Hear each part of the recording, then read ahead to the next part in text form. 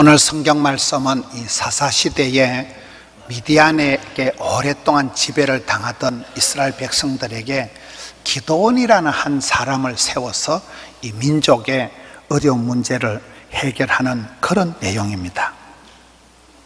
여러분 우리가 성경을 보면 하나님께서 그 시대에 그 땅에서 사람을 들어 쓰시는데 하나님께서 사람을 스카우트할 때 나름대로의 어떤 그 원칙이랄까요? 특징이 있더라고요. 여기 기도원을 부르실 때 기도원은 굉장히 이렇게 급쟁이고 좀 소심병 환자 같고 신통찮은 사람으로 오늘 나옵니다. 지극히 작은 자로 이렇게 나옵니다. 하나님이 다윗을 부르실 때도 보면 다윗이 예루살렘 육군 사관학교를 나왔다거나 그런 게 전혀 아니에요 그저 베들레헴 들판에 양치기에 불과한 여덟 아들 중에 막둥이에 불과한 기도원이나 비슷합니다. 하나님께서 사도 바울의 후계자 디모데를 스카우트 하실 때도 보면 디모데가 무슨 경력이 화려한 사람이 도무지 아니에요. 깜이 안 되는 사람이 몸도 약하고 집안도 형편이 없고 심약, 허약, 병약해 빠진 그런 티미디한 디모데를 들어 쓰시는 하나님께서 아브라함의 아들을 선택할 때 여러분 아브라함의 아들이 많습니다.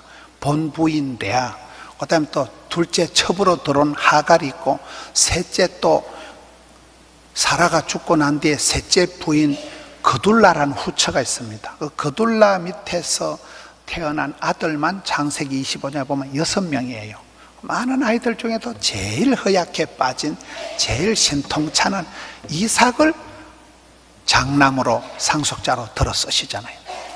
예수님께서 신약 성경에 제자들을 부를 때 오디션을 한다거나 제자들을 부를 때 시험을 친 적이 없어요. 막 불러 제키는 거예요. 허물 많은 제자 베드로 의심 많은 제자 도마. 성경을 이렇게 볼 때 하나님이 제자들을 부르실 때 주의 사람들을 불러 쓰실 때 똑똑한 사람 예쁜 사람 힘센 사람은 거의 없더라고요. 좀 골치 덩어리들 신통찮은 사람들을 들어 쓰신다는 거예요. 다윗을 들어 쓰실 때 다윗이 아비가 볼 때도 형편없는 아들 여덟째 막둥이 도무지 쓰잘데없는 아들 아빠가 너는 덜판에서 양이나 지키라. 그렇게 갈로밖에 제켜놓은 아들이 다윗인데 하나님 다윗을 쓰실 때 다윗의 그 마음이 제가요 덜판에서 아버지 양을 지킬 때요 사자나 곰이 나타나면 내가 옥체를 보존하고 뭐 그런 스타일이 아니야. 아버지가 나한테 부탁한 양새끼 한 마리는 목숨을 걸고 끝까지 지키는데 사자나 곰이 움켜가면 추적 60분에서 따라가서 사자나 곰이 입을 벌리고 입에 들어간 양새끼를 끄집어내올 때 하나님께서 나를 그때 사자나 곰의 발톱에서도 지키 썼었은 적 오늘 이 할례 없는 골리앗 손에서 나를 지켜 주실 줄로 믿습니다. 이 스타일이에요. 디모데를 불러 때도 디모데가 약해 빠졌으니까 네가 은혜 안에서 강해라. 네가 약할 때 하나님이 강하게 지켜주신다. 이삭을 세울 때도 워낙 비실비실하니까 막 백배로 복을 주시니까 마침내 왕성창대 거보가 되었더라. 말주변도 없고 무식한 베드로 갈릴리 수산고등학교를 나왔어요. 일자 무식한 베드로를 불러서 성령으로 감화 감동하게 하시니까 그가 설교 한 판 할 때 3천 명이 회개하고 뒤집어지는 그런 역사를 만들어가는 분이 여러분 성경에 하나님의 역사가 그렇게 나타 대체적으로 하나님은 시대마다 사람을 부를 때 작은 자, 약한 자, 병든 자 그런 약자를 빈자를 소자를 들어 쓰신다는 거예요. 여기 기도원도 그렇습니다. 기도원이 누굽니까? 오늘 말씀 11절에 보면 여호와의 사자가 아비에셀 사람 요하스에게 속한 오보라에게 이르러 상수리 나무 아래에 앉으니라. 마침 요하스의 아들 기도원이 기도원을 소개할 때 아직은 단독적으로 기도원을 소개를 안 하고 저 저 저 집안의 아들내미란 눈의 아들 요수아. 여러분 아들내미로 아직은 아버지 이름이 먼저 나오는 거예요. 단독적으로는 아직은 소개할 만한 경력이 없는 아버지의 아들, 그 아버지의 그 아들, 요하스의 아들 기도온이 미디안 사람에게 알리지 아니하려 하여 밀을 포도주 틀에서 타작하더니 이 시대가 사사시대인데 사사시대는 이게 짜리가 있습니다. 어떤 사사는 40년짜리, 어떤 사사는 20년짜리.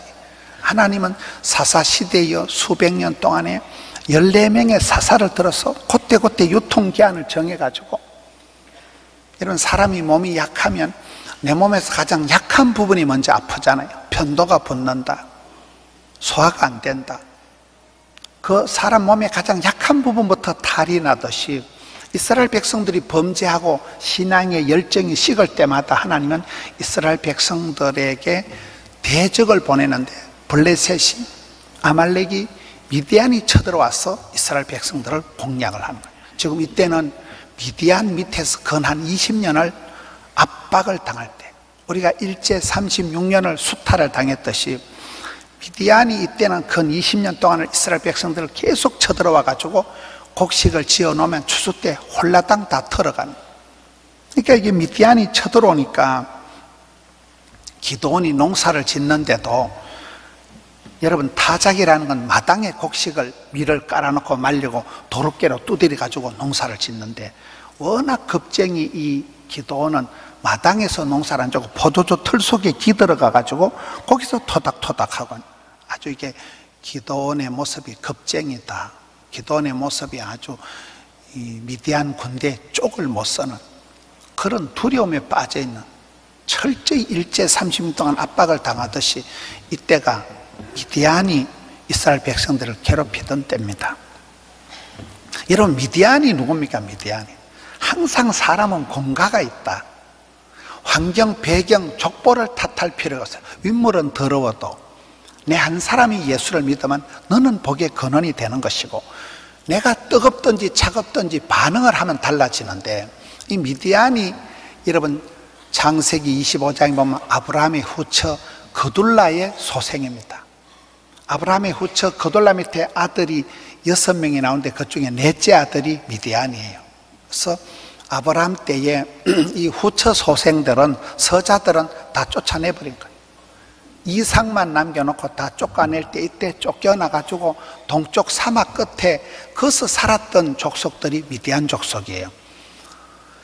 밭 동쪽 그 사막 끝에 살았기 때문에 나중에 그 사막 이름이 미디안 광야가 된 거예요. 그곳에서 두 부류가 나옵니다. 한 부류는 이렇게 이스라엘 백성들하고 원수가 돼가지고 이스라엘 백성들을 계속 괴롭히는 그런 아말렉과 같이 미디안과 같이 이 사람들은 이 블레셋과 같이 다 같은 아브라함의 자손인데 이게 태가 갈라지는 거예요. 악한 역할로 쓰임 받는 이 미디안이고 또 미디안 족속 중에 가장 유명한 사람이 누굴까요? 모세의 장인이에요. 모세의 처갓집이에요. 모세가 40살에 쪽박을 차고 인생 40살에 완전히 인생 부도가 나서 짝대기 하나 들고 광야로 도망을 갔을 때 도망을 간 광야가 미디안 광야입니다. 그 광야에 가서 나이가 80이 되도록 들판에 숨어서 피난 생활할 때 그때 모세를 거두어 준 사람이 이 미디안의 제사장 이도로입니다. 모세의 장인 어른이 바로 이 미디안 사람입니다. 여러분 사람은 누구든지 공과가 있다니까요. 내가 출생 성분이 어떻든지 내가 체질이 기질이 DNA가 어떻든지 상관없이 하나님을 믿으면 예수를 믿으면 사람이 변합니다. 자연인 그대로 살아가면 독종이 될 수밖에 없는. 이 미디안이 두 부류로 나타나는데 본문에 나타나는 미디안은 이스라엘 백성들과 철천지 원수지간이에요. 수십 년 동안 이스라엘 백성들을 압박을 하니까 여기에 기도원이라는 사람이 쪽을 못 서고 타작을 마당에서 안 하고 포도주 털 속에 기들어가 가지고 할 만큼 아주 급쟁이로 기도원의 첫 모습이 등장을 합니다. 12절 여호와의 사자가 기도원에게 나타나 이르되 우리가 성경을 보면 천만 다행한 것이 그때그때 사람들이 총기가 있어서 하나님을 믿어주는 게 아니에요. 항상 하나님 일방적으로 먼저 신방을 오십니다. 하나님 먼저 불러주십니다. 하나님께서 기도원에게 오시는 거예요. 나타나서 큰 용사여 여호와께서 너와 함께 계시도다 사람이 자신을 생각하는 것하고 하나님께서 우리를 보시는 게 완전히 다릅니다 지금 현실을 바라볼 때 여기에 기도는 이 망할 놈의 세상 저 징글징글한 미디안이 해마다 쳐들어와서 농사를 지만 다 털어가니까 이 더러운 세상 죽지 못해 사는 세상 포도주 털 속에 기 들어가서 농사를 짓고 있는 이 겁쟁이요. 그런 기도원이 자기를 생각할 때는 한심하게 생각을 하는데 하나님은 다짜고짜 큰 용사요. 이렇게 부르시는 거예요. 이걸 현실적으로 부를 땐 어이 쪼다 기나와 기나와. 이렇게 불러야 되는 상황이에요 지금. 그런데 하나님은 이 쪼다 같은 겁쟁이 기도원을 큰 용사여 하나님께서 너와 함께 할 기다 두려워 말라 놀라지 말라 떨지도 말라 쫄지도 말라 반드시 내가 너를 도와주리라. 이런 톤으로 지금 기도원하고 대화를 시작하시는 거예요. 항상 우리는 프라브롬 문제를 보지 마라. 프라미스 하나님의 언약을 봐야 된다는 하나님이 함께 하신다면 되는 거예요. 하나님이 내 편이시고 하나님이 도와주신다면 되는 거예요. 여러분 다윗이 전쟁터에 나갈 때 다윗이 데뷔할 때 비슷합니다. 골리앗이 덩치가 3m가 넘는 떡대가 이따만한 게서 있으니까 이스라엘의 군인들이 다윗의 형님들이 쪽을 못 쓰는 와 진짜 크다. 저게 밟히면 장자 터지겠다. 꼼짝을 못하고 있는데 다윗은 반대요. 와 진짜 크다. 저런 새끼는 눈 감고 집었던지도 시 아무데나 맞아 죽겠다. 이따만한 거 못 맞히면 바보제 답답하다는 답이 두 개라니까요. 답답하다. 깝깝하다는 갑옷을 두 개 입었으니까 깝깝하다니까요. 다윗이 그 골리앗의 덩치에 눌리질 않는 거예요. 덤비라 이 자식아 니까지 이 자식아 칼과 창으로 들어가다 나는 하나님의 돌매 물맷돌 짱돌 하나님 있으면 니까지는 원샷에 해결한다 이 자식아 다윗이 담대한 마음을 가지고 담대하다는 건 썰개 담자 큰 대자. 간띠가 부은 상태가 되었어 덩치가 클수록 해결이 쉽다니까요. 한 방에 해결 한 방에. 오늘 말씀 제일 마지막에 이 막강 미디안 대군을 상대할 테니까 한 사람 치듯 하리라. 뭐 덩치가 크다고 쪽수가 많다고 겁낼 필요가 없다. 한 사람 치듯이 나가면 된다는. 하나님이 다윗에게 담대한 믿음을 주셨듯이 여기 기도원에게 지금 그걸 얘기하는 거예요. 큰 용사여 하나님께서 너와 함께 계시도다 여러분 구약 성경의 최고의 보험 안전 조치 특권이 하나님이 임재하시는 거예요. 하나님이 동행하시는 거예요. 하나님이 함께 하시는 거예요. 하나님이 함께 하시면 그것이 안전 조치요. 그게 최고의 보험이 방패막이가 되는 거잖아요. 여기에 현실은 반대예요 여러분 깝깝하고 낭패와 실망을 당할 때가 있습니까? 현실은 엉망진창이고 더군다나 현실보다도 더 중요한 것은 내 자신이 무기력한 거예요. 나는 아무것도 할 수 없다는 거예요. 지금 기도원의 상황이 그렇습니다. 하나님께서 큰 용사여 하나님께서 너와 함께 할 것이다 이렇게 얘기를 하시니까 13절에 기도원이 받아서 반대로 오 나의 주여 여호와께서 우리와 함께 계시는데 어째서 나라 꼬라지가 이 모양이냐. 하나님께서 그래 시퍼렇게 살아 계신다는데 어째 나라 꼬라지가 뭐 택한 백성 개뿔 맨날 시달리고 2단 3단들이 와서 사, 여러분 이방인들이 와서 블레셋이 아말렉이 미디안이 계속 괴롭히니까 이 사사 시대는 다크에이지라고. 가장 어두운 시대 암담한 시대 희망이 절망인 시대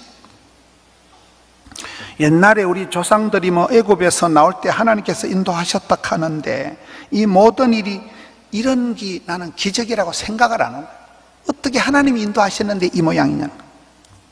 이제는 하나님께서 우리를 버리셨다. 미대안의 손에 넘겨버리셨다. 어떻게 하나님이 살아계신다 하는데 세상이 이 모양 이 꼴이고 악인들은 형통하고 의인들은 갈수록 고난을 당하고 나라 꼬라지가 어째 이 모양이냐 이런데 무슨 하나님이 함께 하시고 택도 없는 소리 하지 말라는 것 14절에 여호와께서 그를 향하여 이르시되 너는 가라 네 힘으로 이스라엘을 미디안의 손에서 구원하라 내가 너를 보낸 것이 아니냐 여러분 오늘 성경에 보면 기도원이 계속 안 됩니다. 못합니다. 절대 안 됩니다. 계속 도리질을 하고 부인하고 도망가는 게 여덟 번이 나옵니다. 기도원의 생각에서는 택도 없는 일이에요. 안될 일이에요. 근데 하나님은 계속 또 여덟 번을 팔전구기로 계속 설득을 하는 거예요. 괜찮다. 가라.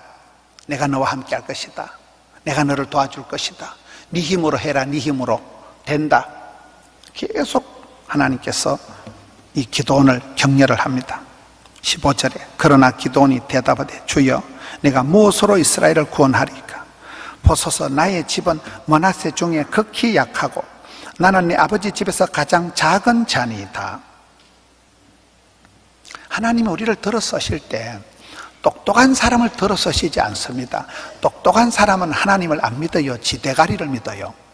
힘이 센 사람은 하나님을 안 믿어요. 내 팔뚝을 믿어라. 이렇게 나가는 거예요.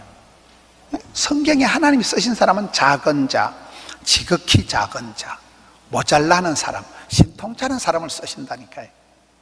다윗이 일평생 쓰임 받은 것 중에 한 가지는 항상 자기를 여덟째 중에 막둥이로 작은 자로 여겼다는 거예요. 내가 낸데 사람이 나를 몰라주네, 시대가 나를 몰라주네. 그런 사람은 백발백중 교만으로 넘어가는 거예요. 겸손을 감당하고 작은 자의 자리를 감당하면 되는 거예요. 여기 우린 집안도 신통찮고 우리 집은 약한 집안이고 극히 약하고 나는 내 아버지 집에서 가장 작은 자니다.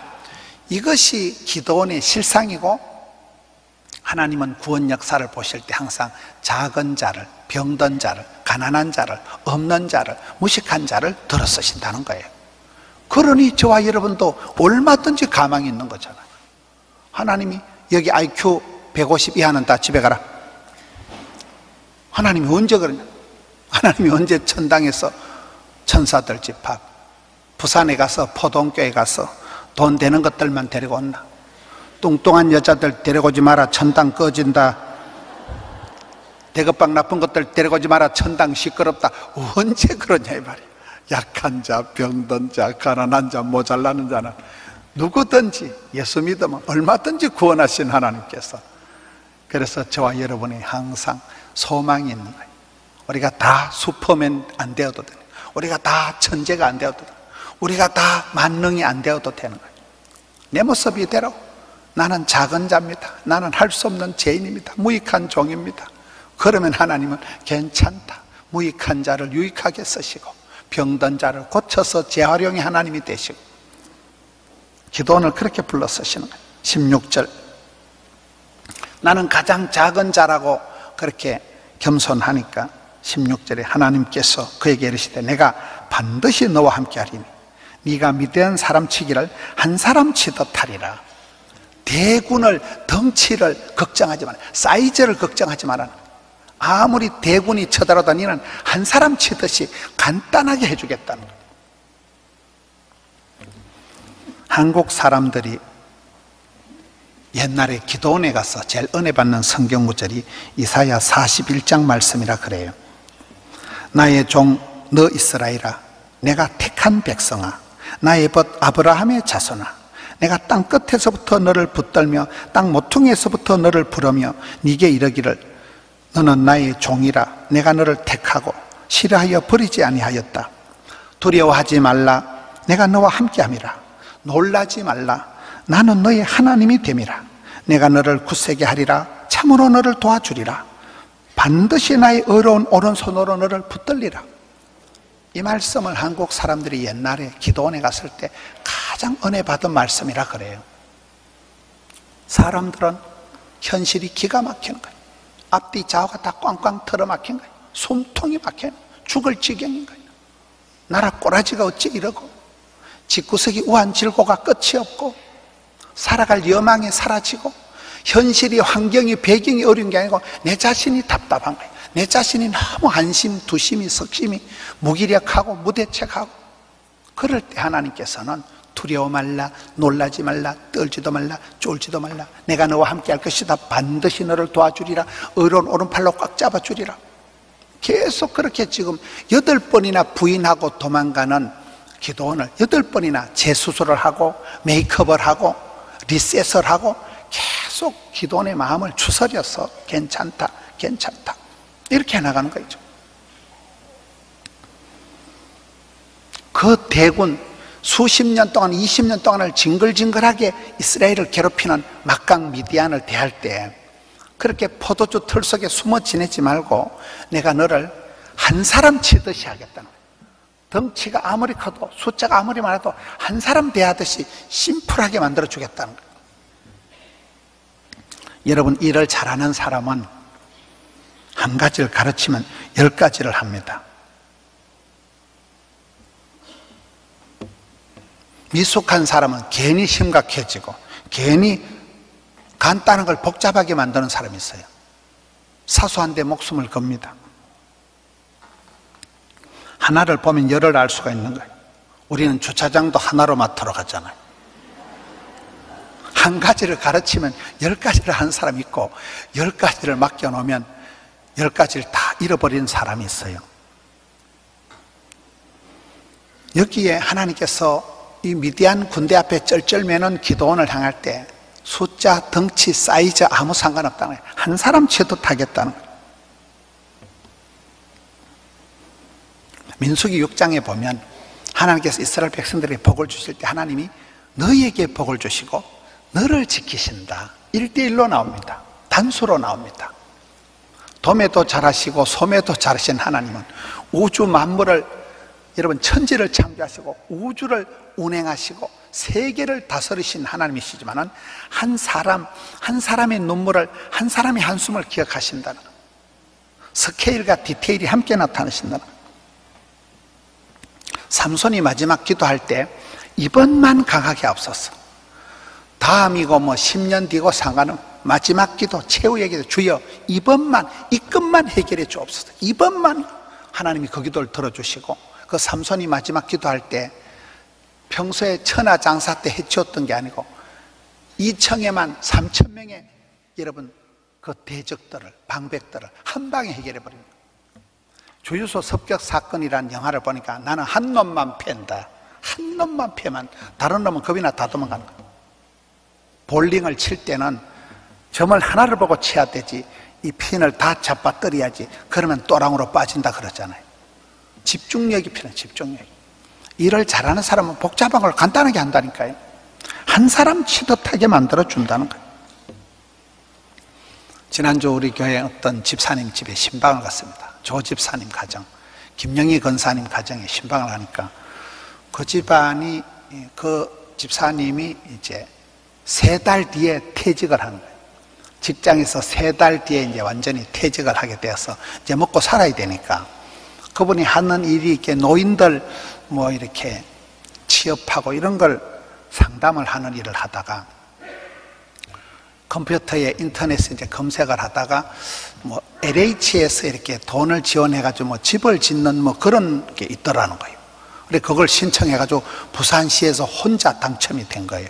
그걸 어떤 또 교장 선생님한테 소개를 했더만 교장 선생님이 에이 그 요즘 그런 게 어디냐 그 사기다 사기 이래가지고 뭐 교장 선생님 얘기를 해도 안 되겠어. 자기 혼자 이제 대본한테. 그래가지고 돈도 얼마 없는데 종잣돈 얼마 없는 거 가지고 집을 17칸이나 집을 짓고 또 그걸 뭐 전세 걱정도 안 하고 또 LH에서 85%또 그 전세가 다 지원이 된다더라고요. 내가 보기엔 뭐 날로 먹는 거야, 날로. 원래 되는 놈은 자빠져도 만 원짜리 주워 일어나고 물에 빠져도 건져놓으면 한쪽 주머니에 미꾸라지가 뒷주머니에는 붕어가 들어간다는 말이 있잖아요. 그러니까 그 시조례가 그 어떤 법이 그 집사님, 조집사님 한 있어 만들어지고, 그리고 요즘 이제 다시 그걸 하려고 알아보니까 그 제도가 싹 없어졌다는 거예요. 원래 여러분 성도가 기도하면 하나님은 우주 만물을 총동원해서 응답하신다니까요. 그 한 사람 때문에 법이 바뀌고 한 사람 때문에 제도가 바뀌는 거예요. 조집사님은 날로 먹었다고 봐. 어째 하나님이 퇴직하는 거 타이밍까지 딱 맞춰가지고 퇴직 세 달 전에 모든 게 다 해결된 거예요. 그런 집에 신방을 가보면 내가 신방을 설교하러 간 게 아니고 제가 은혜를 받고 오는 기분이에요. 아이고, 이 집에는 날로 복을 받았구나. 맞춤형 복을 받았구나. 하나님은 온 세상, 이 분주복잡한 세상 가운데도 여러분 한 사람을 일대일로 상대하시는 너의 기도를 들으시고 너의 눈물을 닦으시고 너의 한숨을 거두시고 이 시대가 뭐 이래 나라 꼬라지가 어째 이래 희망이 절망인 이 시대에 가장 암담한 사사 시대에 하나님께서 미디안 앞에 쩔쩔매는 기도원을 만들어 가시는데 한 사람 치듯하게 간단 명료하게 해주겠다는 거예요. 신앙생활의 고수는 누구 때문에 기분 나쁘고 무슨 일 때문에 화가 나는 게 아니에요. 하나님 한 분만으로 만족하는 거예요. 다윗과 같이 내 잔이 철철 넘치나이다. 바울과 같이 내 은혜가 내게 족하도다. 지난주에 대구에서 집회를 하는데 목사님들 식사를 하는데 원로 목사님 90이 다 되신 원로 목사님이 옆에 강 목사님이 앞자리 계시고 그 교회 후임 담임 목사님 40대 목사님 앉아 계신데 90대신 원로 목사님 얼굴이 달덩어리 같아요 근데 40대 담임 목사님은 금방 지옥에서 출장 온 것 같아요 완전 얼굴이 사색이 돼가지고 얼굴이 시커매. 박 목사님은 얼굴이 왜 그렇고 원로 목사님 얼굴이 달덩이 같아서 비결이 뭐냐고 물어보니까 세 가지를 말씀하시더라. 첫째는 하나님의 은혜고 둘째는 부모님의 덕이고 셋째는 소식을 해서 그렇다는 거예요. 소식이 뭐냐 물어보니까 이분이 체질적으로 몸이 약하대요. 부모님께 물려받은 체질 자체가 소화를 잘 못하고 위가 약해가지고 항상 밥을 쪼개씩 먹었대 여러분 작은 자를 하나님은 쓰신다니까요 힘이 센 것들은 대부분 교만으로 넘어가요 교만으로 이 사람이 왜 복을 받았다고요? 하나님이 그렇게 집을 만들어 놓아요 이분은 큰 욕심도 없고 보니까 여러분 답답합니까? 힘이 드십니까? 왜 그런지 아세요? 욕심이 많아서 그래요 사심이 많아서 그래요 생각이 복잡해서 그런 거예요. 어린애 같은 심플 라이프하게 살아가는 사람은 걱정을 안 합니다. 바보들은 암이 안 걸린다 그러잖아요. 항상 기뻐하니까 안녕하세요. 항상 웃고 있으니까 스탠레스가 없는 거잖아요. 이 90이 되신 목사님이 얼굴이 왜 그리 좋냐 물어보니까 자기는 평생 소식을 했대. 과식, 과로, 과욕이 문제입니다 욕심이 지나치면 욕심이 잉태한 적 죄를 낳고 죄의 값은 사망으로 가는 거예요. 과속, 교통사고의 주범은 과속이요. 과속하니까 와장창하는 거예요. 과식, 돼지같이 먹으니까 살이 찌는 거예요. 평생 소식하라니까 늘 몸이 가볍고. 야 제가 깜짝 목사님 90대신 원로 목사님 어째 얼굴이 그리 좋냐는 거예요.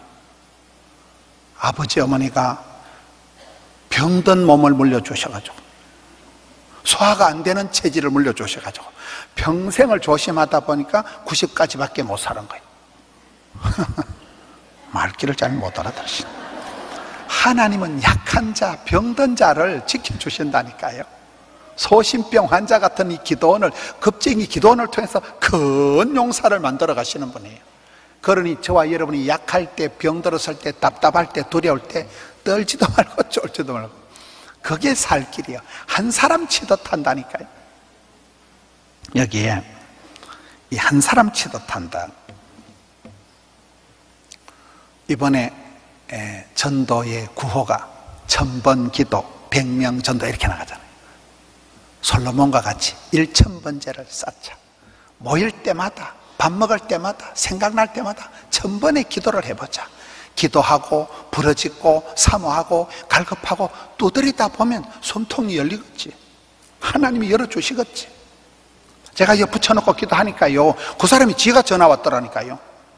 꿈속에 나타나가지고. 천 번을 기도하면 하나님이 길을 열어주신다는 그리고 믿거나 말거나 반응에 상관없이 100명한테는 전하자, 유통하자. 주님의 은혜가 내려와 내려와. 주님의 은혜가 임하고 주님의 은혜를 누리고 그리고 주님의 은혜를 흘러보내라는 거예요. 흐르는 물은 썩지 않아. 우리가 열심히 전도하면 전도가 되는 게 아니에요. 내가 살아요, 내가. 내 영이 살아나요. 전도를 안 하면 내 영혼이 막힙니다. 혈이 막힙니다. 열심히 우리가 주의를 하면 적어도 기본은 유지한다는 거예요.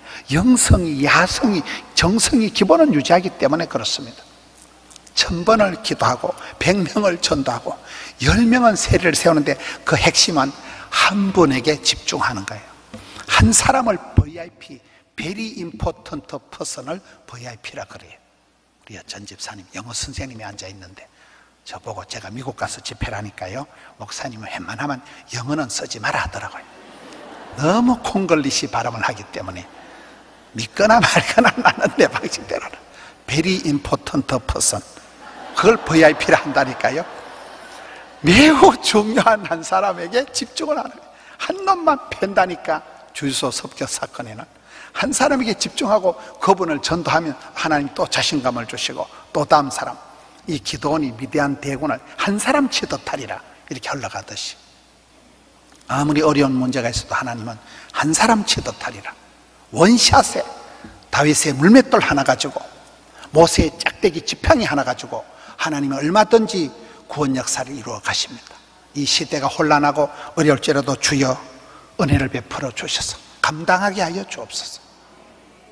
감당하는 우리 성도님들 되시기를 축원합니다